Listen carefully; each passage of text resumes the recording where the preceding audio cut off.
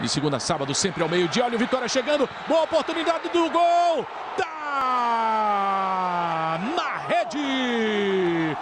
Gol!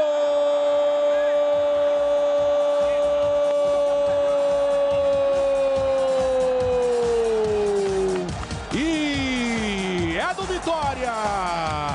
É de escudeiro, ele começou a jogada. A bola passou pelo Rogério. Olha o Elton, olha. Olha que visão que teve. Passou para o escudeiro. Toma, escudeiro. Vai, faz. E ele encheu o pé.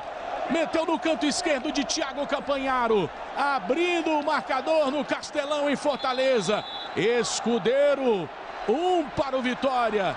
Zero para o Ceará. Festa do argentino. Chamando todo mundo ali para comemoração. Escudeiro, camisa 11, 1 a 0. E aí é que o Ceará, em que nada foi marcado, também achei que não houve, né, Sintra? Para mim, esse lance foi normal. Olha o Rogério, limpou, bateu. Tá na rede.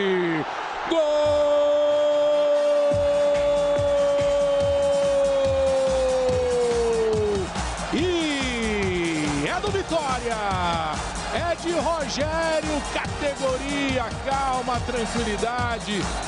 E o efeito que a bola fez, olha a curva, o drible, Rogério amplia o marcador no Castelão, faz 2 a 0 vitória, para o time ficar tranquilo. Que passe também de calcanhar, hein? E o Rogério liso, escapou da marcação, buscou o canto, o Thiago Campanharo voou, não achou.